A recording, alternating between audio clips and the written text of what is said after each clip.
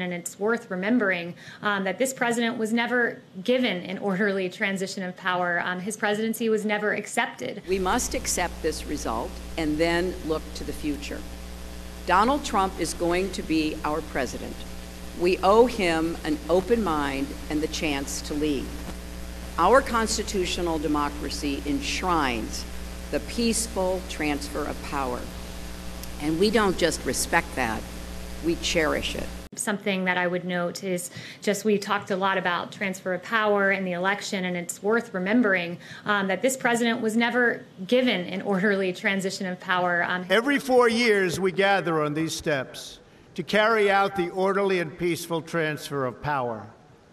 And we are grateful to President Obama and First Lady Michelle Obama for their gracious aid throughout this transition.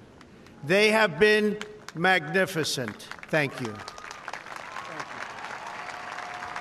With the announcement of two effective COVID 19 vaccines comes a new challenge how to transport them around the world for distribution. It would take more than 8,000 Boeing 747 cargo jets to deliver enough COVID 19 vaccines for the entire world. Not to mention, Pfizer's vaccine has to be stored at around negative 112 degrees Fahrenheit, while Moderna's is stored at negative 4 degrees Fahrenheit, a little bit colder than the average freezer. Some airlines are using dry ice, but that comes with its own challenges. Multiple airlines have already been figuring out logistics and say that they're up for the challenge. This man is braving a hurricane to launch a weather balloon carrying a radio sonde. A radio sonde is a small device with sensors that measure pressure, temperature, and humidity and transmit the data back to a ground receiver. It can travel up to 115,000 feet, and when the balloon eventually pops, it travels back to the ground with a small parachute. What do you see as the biggest threat to your transition right now, given President Trump's unprecedented attempt to obstruct and delay a smooth transfer of power? More people may die if we don't coordinate. Look, as my chief of staff, Ron Klain, would say, who handled Ebola,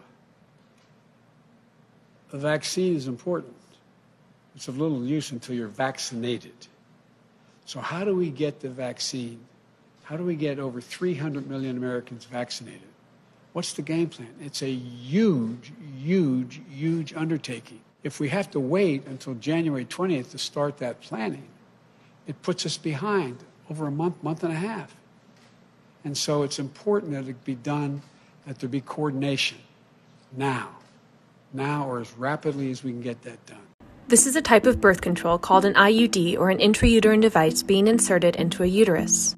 Studies have found that IUDs are the most popular form of birth control used by female OBGYNs themselves and family planning providers. That's because they're over 99% effective at preventing pregnancy, and once inserted by a doctor, they're effective for 3 to 12 years depending on the type or brand. Every four years, we gather on these steps to carry out the orderly and peaceful transfer of power.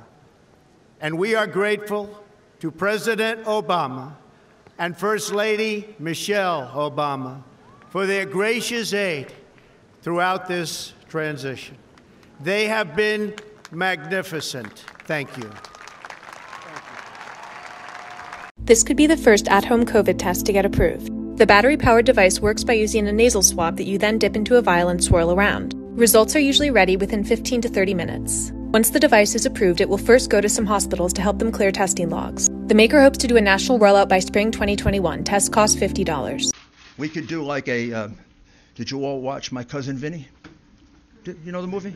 It's one of my favorite uh, law movies because he comes from Brooklyn. And uh, when the, the nice lady who said she saw, and then he, uh, he, he says to her, How many f- fingers do I? How many fingers do I got up? And she says, uh, Three. Well, she was too far away to see it was only two. These people were further away than my cousin Vinny was from the witness. President, Senator from Ohio. I'd start by asking the presiding officer to please wear a mask as he speaks, and people below him are, I can't tell you what to do, but I know that the behavior. I don't wear a mask when I'm speaking, like most senators. Well, I, most senators. So I'll, I'll on, but I don't need your instruction from. I know you don't need my instruction, but I, there clearly isn't much interest in this body in public health.